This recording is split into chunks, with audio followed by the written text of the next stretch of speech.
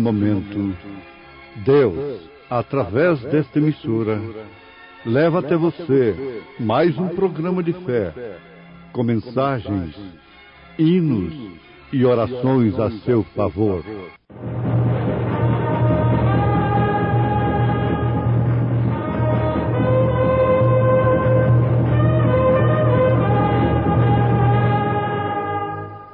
Fé para vencer.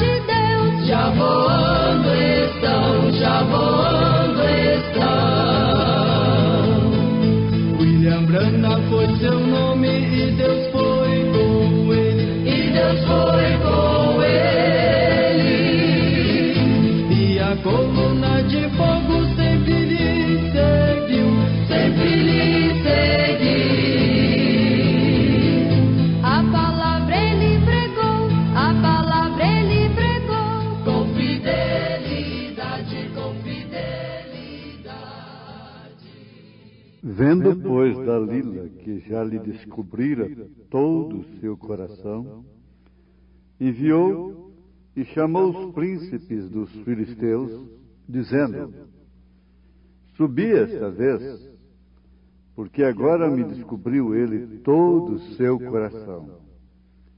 E os príncipes dos filisteus subiram a ela, trouxeram dinheiro em sua mão.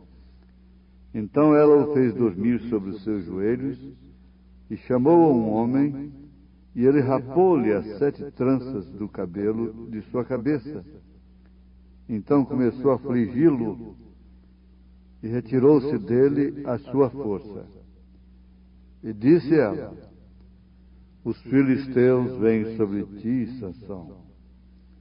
E despertou do seu sono. E disse: Sairei ainda esta vez como dantes, e me livrarei, porque ele não sabia que já o Senhor se tinha retirado dele.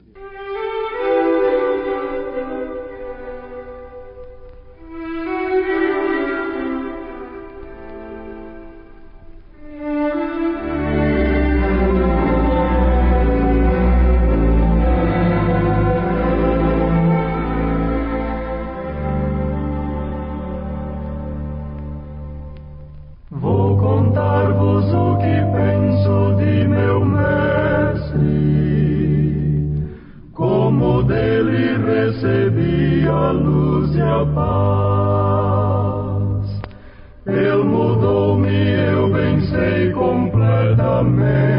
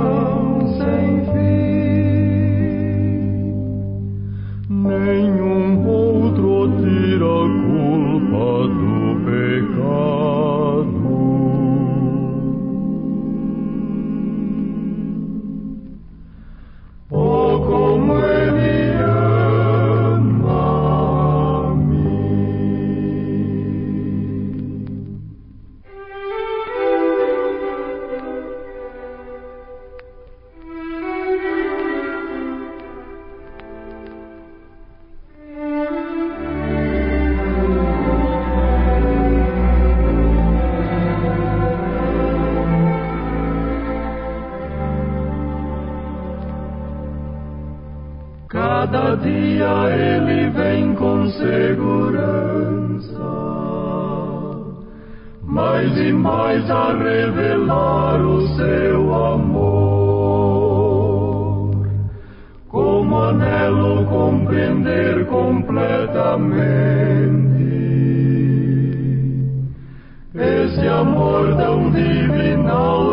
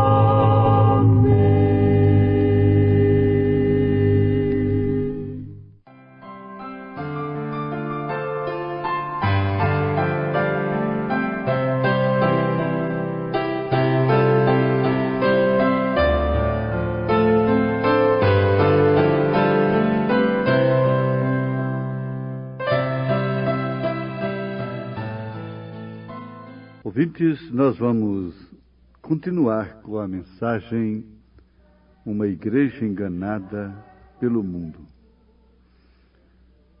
É uma mensagem pregada pelo profeta desta era, irmão William Marion Branham. Conforme nós temos notificado, ele é o mensageiro de Deus para esta era. A sua mensagem não visa fazer mais uma denominação, mais uma organização, mas ela é para todo o povo de Deus. Ela é para todos os filhos de Deus. Agora eu pergunto: qual o pastor, qual o irmão, qual a irmã que não acata, que não reconhece que nós necessitamos de uma mensagem de exortação nesta hora, neste século de tanto liberalismo. Eu creio sim que todos nós reconhecemos isto. E ele está fazendo aqui um paralelo, um confronto de Sansão com a igreja. Ele disse que Sansão começou muito bem, foi usado por Deus, mas quando saiu fora do seu território, começou a flertar exatamente o que a igreja fez lá no princípio. Ele não estava flertando com moça israelita. Ele fez um casamento misto. Ele pegou uma moça filisteia, portanto, mensageira, instrumento dos filisteus. Isto era justamente a arma, a arma máxima que os filisteus tinham. Não era espada, não era sua força física, não eram seus capacetes, não era Golias gigantes como eles tinham, mas sim a mulher, Dalila. Essa foi a arma principal, foi o instrumento dos filisteus. Então, nesse paralelo, nós vemos esse quadro tão perfeito, que a igreja começou como Sansão, se encostando, se associando a más companhias. No concílio de Nicéia, ela se juntou com a política, com o Estado, e daí então a situação que temos hoje. Nós vamos ver que Sansão, enquanto ele estava na companhia do povo do Senhor, no companheirismo verdadeiro, ele se deu bem. Quanta saudade ele não tinha depois daquele companheirismo. Porém, quando ele começou a flertar com más companhias, ele arranjou problema.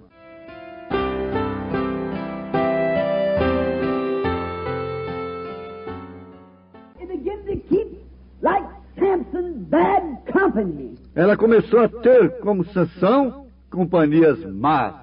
As long as he was in the company of the Lord's people, he did all right.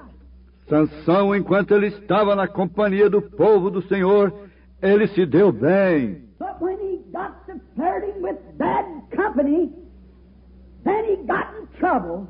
Porém, quando ele começou a flertar com má companhia, então ele arranjou problemas. Exatamente o que temos: problemas, problemas e mais problemas. Em todos os setores da sociedade e muito mais do que isso, na família, na igreja. A família está cheia de problemas cuja causa é exclusivamente isto que nós estamos ouvindo. A vida de Sansão, como de outros demais no Velho Testamento, seus fracassos, suas derrotas, seus erros, como de Davi, de Abraão, isso não foi somente para termos um conhecimento histórico. Isso é uma sombra do que viria a acontecer no Novo Testamento. Então, eu creio que meu ouvinte minha ouvinte está sendo ricamente abençoado. A mensagem de cura divina é esta. A cura divina não compreende somente curar físico. A cura divina cura a alma em primeiro plano. Um espírito sadio tende naturalmente a ter um corpo sadio, porque ele evita muitos vícios e até mesmo alimentações erradas. Para que Jesus realmente leve sobre si, cumpra Isaías 53, é necessário que nós estejamos crucificados com ele. Agora, Sansão arranjou problemas. Você tem arranjado problemas que você constata, reconhece que realmente você os procurou com suas próprias mãos. Você não quis ouvir a Deus. Você rejeitou. Você se entregou. E é dessa maneira com a igreja nesse confronto desta mensagem neste paralelo que nós estamos ouvindo, pregado pelo irmão Brana, o profeta de Deus para esta era. Então, quando a igreja seguia reverentemente e diariamente a liderança do Espírito Santo, Deus a abençoava. Os milagres e sinais e maravilhas seguiam a igreja sem depender de dinheiro e de outras coisas. Porém, quando ela começou a ter companhias más com o mundo, então ela tem que arranjar a maneira de casar o evangelho com o mundo, com a, a modernidade do século, da hora em que estamos vivendo.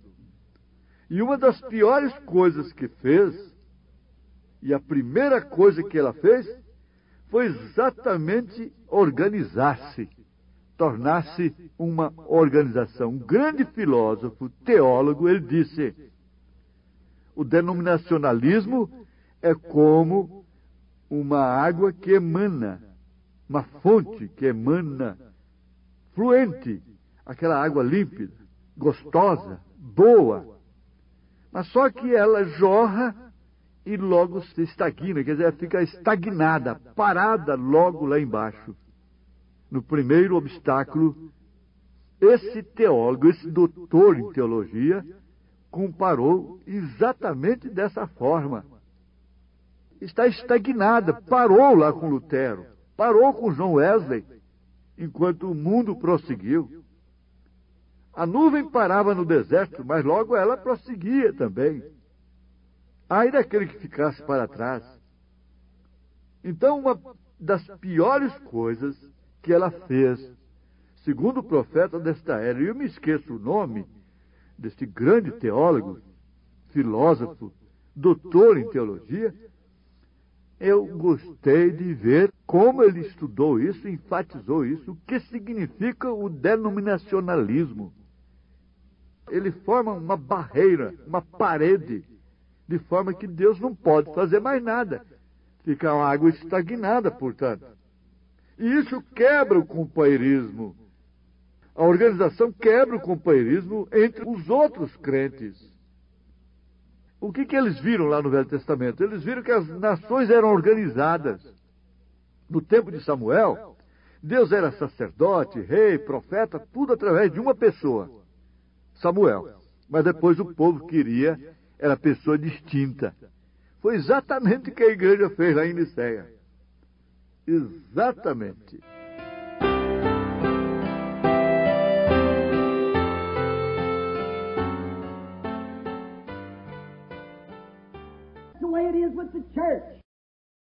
E é dessa maneira com a igreja. Church followed reverently and daily after the leading of the Holy Spirit. God bless them, and miracles and signs and wonders followed the church.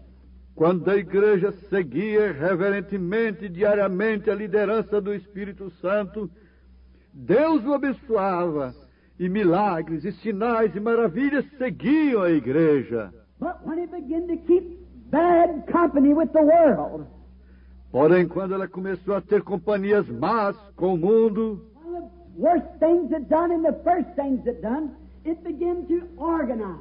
uma das piores coisas que fez, e a primeira coisa que ela fez, ela começou a organizar-se, breaking up fellowship amongst other believers because it found out that nations were organized. quebrando o companheirismo entre outros crentes, porque eles verificaram que nações eram organizadas. But this great gospel is not dedicated to one nation or one people. Porém, este grande evangelho não é dedicado a uma nação ou a um povo. It's dedicated to whosoever will let him come. Nations, kindreds, tongues, and peoples. Ele é dedicado a todo que desejar. Deixe-o vir. Todas as nações, tribos e línguas e pessoas. Deus nunca pretendeu que nós traçássemos linhas divisórias. wanted to be like they compare or to copy after. Porém, o homem desejou ser do mesmo modo. Eles comparam ou imitam. The world does. Say the things that they do. Make a success the way they were a success. Vão como o mundo vai. Dizem coisas que eles dizem, fazer um sucesso da maneira que eles fizeram um sucesso. We cannot never be a success doing anything the world does. Nós não podemos nunca ser um sucesso fazendo algo que o mundo faz. Nós nunca, nunca, nunca podemos ser um sucesso. O homem, para começar, ele é um fracasso como homem. E nós estamos vivendo a hora, o dia em que se clama mais, se busca mais sucesso do que tudo. E o sucesso é números. Números significa sucesso. Quantidade, aparência, demonstrações, espetáculos, unção, emoção, gritos e choros. Agora nós estamos sendo convocados por Deus. O quíntuplo de Efésios está sendo convocado por Deus, Efésios capítulo 4, porque compete a esse quíntuplo, que é formado de pastores, profetas, mestres, doutores, evangelistas, a aperfeiçoarem o povo, o corpo, a igreja. Isso não é através do legalismo, do radicalismo, muito menos do liberalismo. Por isso, toda pena, toda pluma, toda essa coisa que camufla, que é macia, tem que ser sacudida como a águia agita o seu ninho para tirar as plumas de seus filhotes. Porque é hora de voar, é hora de sair da acomodação. E o próprio Deus secou o riacho para Elias. o próprio Deus fez com que Israel não ficasse em um lugar somente. Ele saía dali. Quem ficasse ficaria estagnado, ficaria organizado, ficaria para trás. O sucesso tem que ser no sentido de vencer o ego, vencer os sistemas, o amor aos sistemas humanos, ao personalismo, à fama, ao dinheiro, à mulher. E tudo que embaraçou a Sansão tem embaraçado a igreja. Tudo que embaraçou a Sansão tem embaraçado a igreja. Tem embaraçado o povo de Deus. Tudo que embaraçou a Moisés nas suas horas críticas com Israel tem embaraçado a igreja. Tudo que embaraçou a Davi com seu povo tem embaraçado a igreja. Mas tudo, tudo que levou Davi à vitória, Moisés à vitória, Josué à vitória, Samuel à vitória, Sansão à vitória, também levará essa igreja, tem levado através dos séculos os filhos de Deus, os eleitos, e levará sem dúvida os filhos de Deus desta era para o grande sucesso espiritual, que não é espetáculo, que não é aparência, que não é emoção, que não é sensação. Nós, os pregadores, precisamos de crer na palavra falada, conversada com o povo. Nós precisamos de gostar, sentir-nos à vontade com a congregação ouvindo a palavra, ouvindo a palavra. Ora, é coisa para se refletir ou não, minha irmã, meu irmão?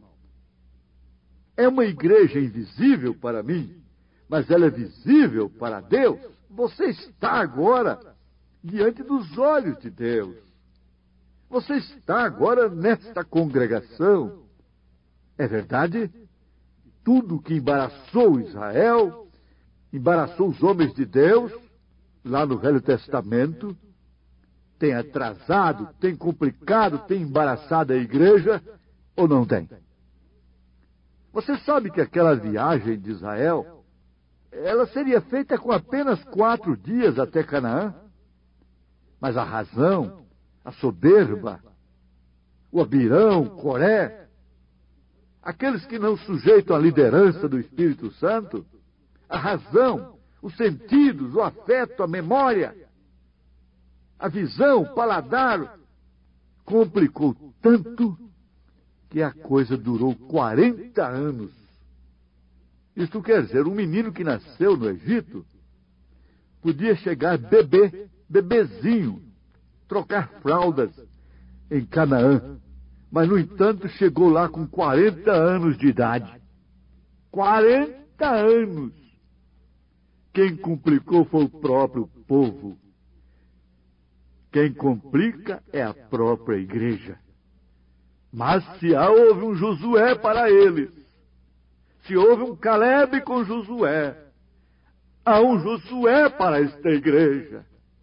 Há um Caleb junto a este Josué. Há um Espírito Santo, há uma mensagem, há um Caleb que fica segurando isto com confiança, com fé.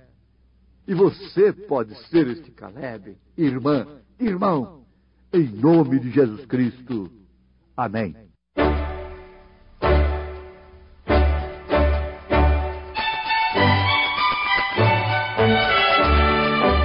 Ouvintes, Escreva-nos pela caixa postal de número 15020, 15 020. CEP 74 501 970 Goiânia, Goiás. O nosso endereço na internet é www.apalavraoriginal.org.br. Volte a nos ouvir amanhã novamente neste mesmo horário, nesta emissora, se o senhor nos permitir com fé no Filho de Deus, a fé que vence o mundo.